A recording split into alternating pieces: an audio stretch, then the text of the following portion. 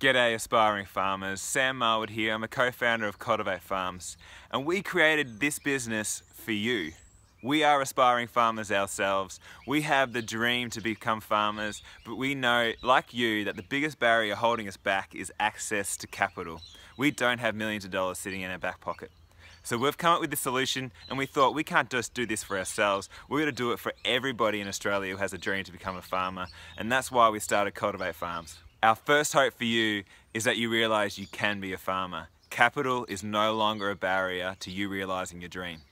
Our second hope for you is that once you've realised you can be a farmer, that you're going to go out there and get farm ready. You're going to take on all the courses and online courses you can. You'll take on farm jobs and farm management jobs just so you can build up your skills so that you're, you're ready for that farm when it arrives. And our third hope for you is that when you're farm ready, we're going to match you onto your dream farm. Either you bring that farm to us or we're looking for farms every day and we'll bring those opportunities to you.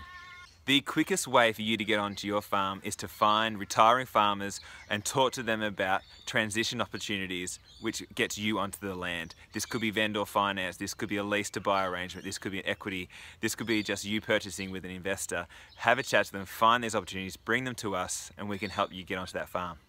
Our dream is to rejuvenate regional Australia and that's going to happen through you through getting great people back onto farms all across the country. So get inspired, get farm ready, and let's get you onto your dream farm.